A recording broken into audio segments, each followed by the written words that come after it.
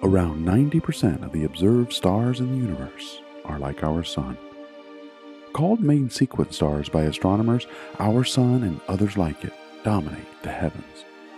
And when they die, many will ultimately leave behind a dark, stellar corpse known as a black dwarf.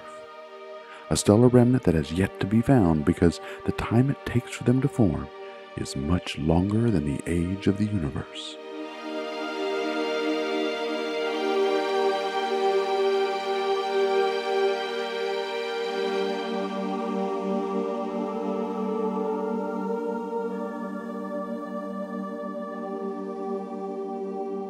As stars go, our sun is rather ordinary.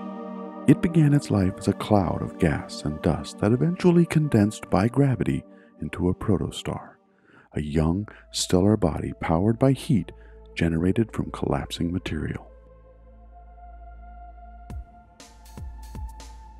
Main sequence stars can range in size from about a tenth of the mass of the Sun up to eight times as massive, and how long they live depends on their size. The sun will shine for roughly 10 billion years, but a star about 20 times larger will only last a fraction of that 20 million years or so due to the higher temperatures and faster consumption of its nuclear fuel. When our sun and stars like it begin to die, they don't explode into fiery supernovae. Instead, as their nuclear fuel runs out, the pressure holding them up against gravity lowers, causing them to contract a bit. This contraction heats up remaining material and helium begins to fuse, creating more heat. This causes the outer shell of the star to expand in size from 100 to 1,000 times the diameter of the Sun today. The Sun has now become a red giant. Main sequence stars spend anywhere from 1,000 to 1 billion years as a red giant until eventually the helium begins to run out. The star shrinks again, blowing the outer layers out into space as a beautiful planetary nebula. If the star is less than 1.4 times the mass of the Sun, something extraordinary happens. The remaining core collapses in on itself so fast that the atoms of the star are packed together so closely that their electrons are pressing against one another.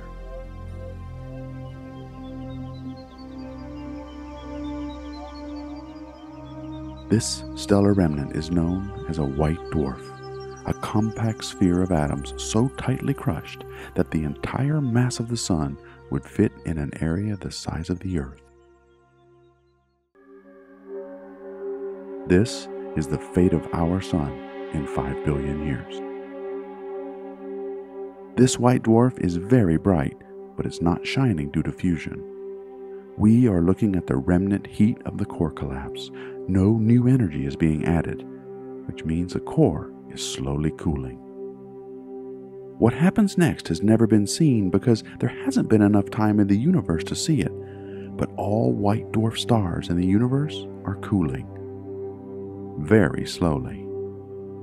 Astronomers estimate that it will take a white dwarf star tens of hundreds of billions of years to completely cool and become what is known as a black dwarf.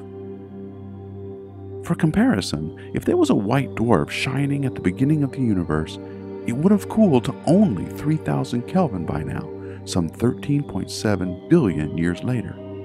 That's just 2,000 degrees below the Sun's present temperature. This means that no one has yet observed or indirectly measured a black dwarf star. The universe is simply not old enough for them to have been formed.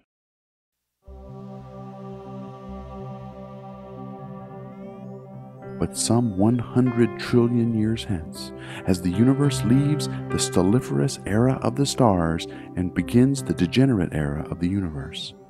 90% of the celestial bodies in our cosmos will be these black stellar corpses, hiding in the blackness of eternity.